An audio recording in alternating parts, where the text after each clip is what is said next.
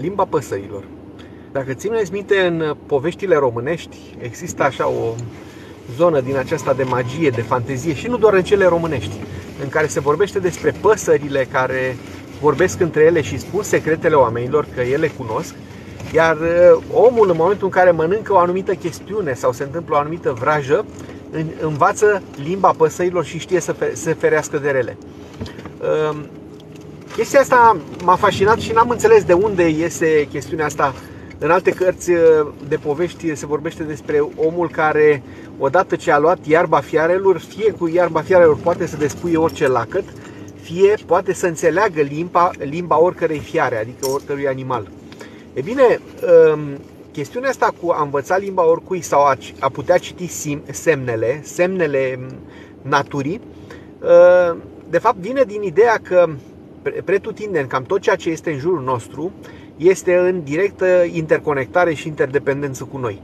Cu alte cuvinte, de fiecare dată când noi um, trăim, experimentăm ceva, Universul ne răspunde într-un mod instantaneu la absolut tot ceea ce um, facem noi și modul în care existăm. Iar acest lucru face ca omul să fie cumva uh, într-un dialog permanent cu Universul și din păcate, datorită faptului că are o minte extrem de confuză și plină de uh, subiectivism, nu mai știe să citească semnele pe care, practic, Dumnezeu îi le dă de după fiecare lucru care există. O metodă specială de a afla viitorul și de a afla răspunsul la întrebări, știți foarte bine că este, sunt metodele de divinație, da?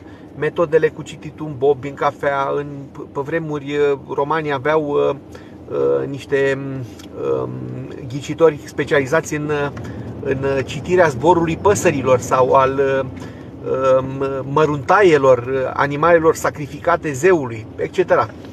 Sunt diverse forme de divinație, dar toate, sau ca și tarotul sau alte din aceste metode din acestea care cumva exprimă ceva, uh, persoana care este divinatorul, ghicitorul, da?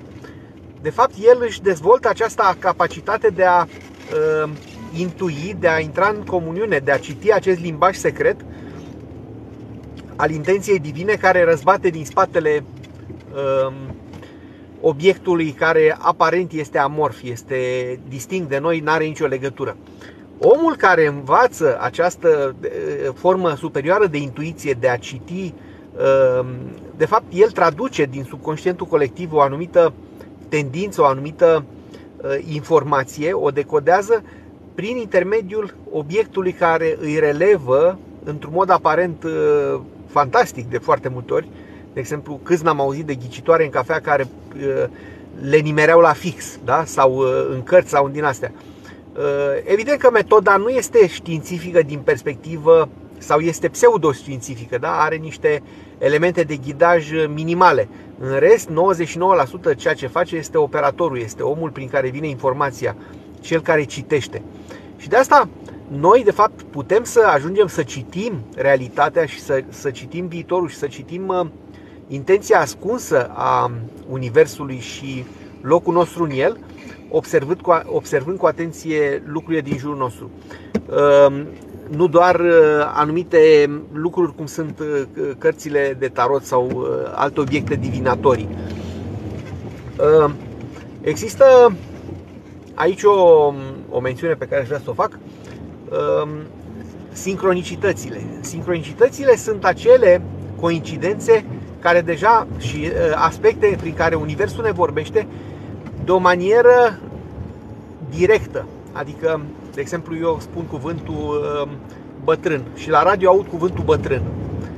Faptul că uh, se produce această coincidență stranie în același timp, că au loc uh, sau ies pe stradă și uh, mă nimeresc cu aceeași persoană de 10 ori care trecea pe trotuar, da? în 10 zile diferite. Asta stă omul și se întreabă oare ce o însemna. În general înseamnă, deci sincronicitățile sunt interpretare ca un fel de piesa este la locul ei în joc. Adică în puzzle-ul acesta uriaș al manifestării al Universului, fiecare la locul lui este bun și dacă tu ești în armonia universală, în viața ta apar din ce în ce mai multe sincronicități, apar din ce în ce mai multe dovezi că faci ceea ce este potrivit cu destinul tău. Adică unii spun faci voința lui Dumnezeu, alții spun faci bine sau